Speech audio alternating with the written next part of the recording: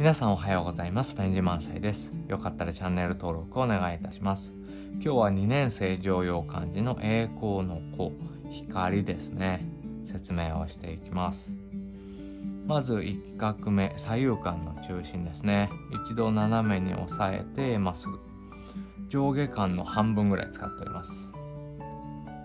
少し満たないぐらい。まあほとんど大体半分ですね。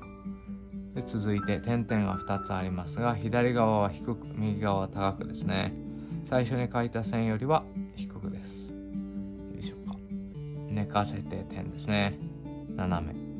で続いて一度斜めに押さえてからふっくらと滑らかに直線的にいかないようにしてくださいね。ふっくらと下をふっくらさせて次に向かっていきます。で続いてここも上下間でいうと半分ですね。ここの合流点。ふっくら右上がりですかね。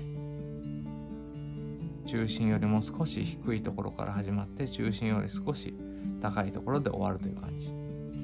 で続いて次ですね。特徴としては通常、えー、中心線ですね。左右間の中心線に対して、えー、左右対称に、えー、書き始めを振ると思いますがそうではなく最初の線を少し左にずらして少し下げると。はい、足は揃えてもらって大丈夫です。いいですかね。中心より少し左にずらして少し下げたところから一度ぐっと斜めに押さえてのの字。で、続いて中心ですね。はい、この足の長い分を考慮して中心からスタートします。斜めに押さえてくっつけて。で、ふっくらと方向転換をして、この線よりもだいぶ外に出して、右側に出してフックしてかっこよく跳ねてください。はいそれでは。書いてみます。斜めに押さえて。まっすぐ少し低い位置。点。少し高い位置。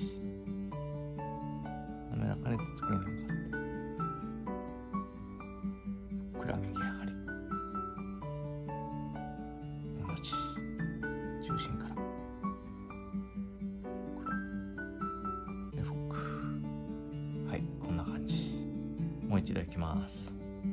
斜めに押さえて。寝かして。ふっくらと次に向かって。はい。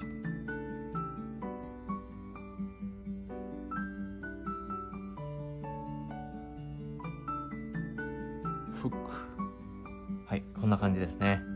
真似して書いてみてください。チャンネル登録お願いします。リクエストありましたらお願いします。それでは素敵な一日をお過ごしください。さようなら。